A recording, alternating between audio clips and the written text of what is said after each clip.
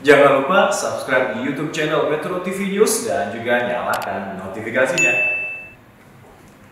Pemirsa satu dari tiga polisi terlapor dalam kasus dugaan unlawful killing atau pembunuhan di luar hukum terhadap empat laskar FPI dilaporkan meninggal dunia.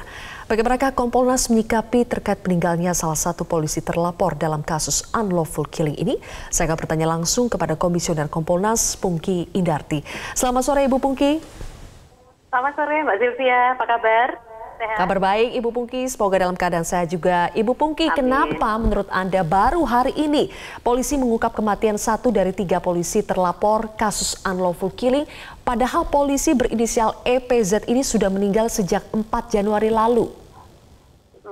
Ya, uh, terima kasih Mbak Zilvia. Jadi uh, kalau uh, kami menduganya terkait juga dengan laporannya ya, artinya uh, ketika dilaporkan itu kan uh, beberapa waktu dekat-dekat uh, ini. Nah, oleh karena itu kenapa kok tidak segera diumumkan? Saya rasa juga kaitannya dengan itu. Itu yang pertama. Kemudian yang kedua terkait dengan kasus ini, ini kan sebenarnya masih dalam tahap waktu itu masih dalam tahap penyelidikan. Nah saat ini sudah penyidikan ya, tahapnya sudah dinaikkan. Kami berharap orang yang kami kira uh, itu di nantinya akan menjadi tersangka, tapi ternyata karena satu orang uh, terlapor sudah dinyatakan meninggal dunia, maka ya tinggal uh, dua orang ini. Nah, dua orang ini diharapkan dapat segera diproses agar uh, segera ditentukan uh, statusnya sebagai tersangka dan kemudian untuk melihat sejauh mana keterlibatan mereka di dalam uh, dugaan tindak pidana unlawful killing yang uh, apa namanya direkomendasikan untuk segera ditindaklanjuti dengan proses pidana oleh Komnas HAM. Nah, uh, pasal yang disangkakan ini kan ada pasal uh, terkait dengan uh, pembunuhan ya pasal 338 KUHP dan pasal uh, eh, 351 ayat 3 terkait dengan uh, penganiayaan yang mengakibatkan meninggal. Nah, kami berharap uh, segera ada pengumuman itu yang uh, kami harapkan pertama.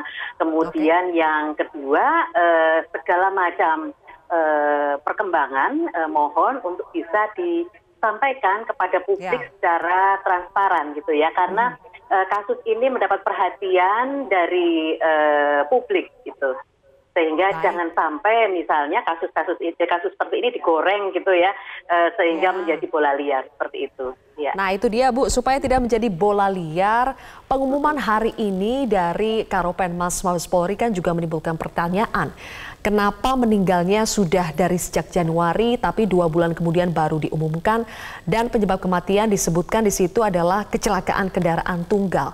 Apa yang harus dilakukan Polri supaya penyebab meninggalnya satu orang polisi ini tidak digoreng, tidak dikait-kaitkan dengan uh, alasan lain supaya tidak ada spekulasi yang liar. Iya, uh, ini kan uh, tiga orang ini termasuk dari orang-orang yang diperiksa oleh Komnas HAM ya. Artinya Polri juga sudah mendapatkan berkas dari Komnas HAM ya berkas laporan terus kemudian juga uh, Polri sudah mendapatkan eh, bukti-bukti uh, yang uh, tadinya pada tahap awal uh, Komnas HAM melakukan penyelidikan.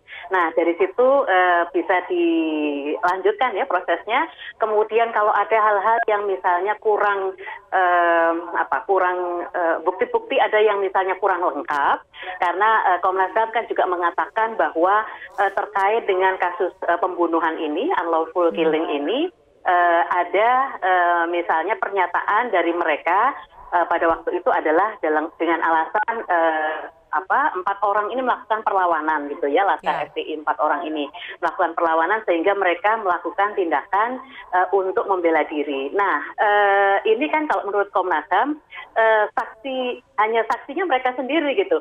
Nah oleh karena itu untuk supaya menjamin kebenaran material maka Polri, uh, Polri Eh, diminta untuk menindaklanjuti penyidikannya. Nah, penyidikan kepolisian kita harapkan juga berpegang pada scientific crime investigation. Jadi meskipun saksi-saksinya minim, tetapi dengan bukti-bukti yang akurat berdasarkan scientific crime investigation, kami berharap itu akan segera uh, dapat diungkap uh, ya, diproses, okay. uh, diungkap, dibawa ke uh, persidangan dan kemudian uh, bisa Baik. disidangkan seperti itu.